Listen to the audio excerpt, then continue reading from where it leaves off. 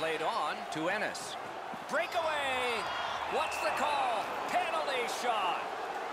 No hesitation at all, Doc, by the official to make the penalty shot call on the trip from behind.